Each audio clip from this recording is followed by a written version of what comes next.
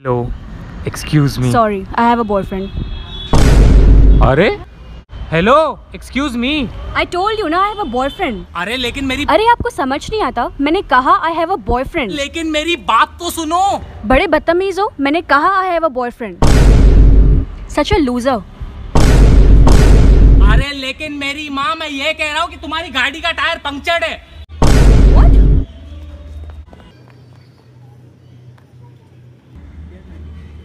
Excuse me.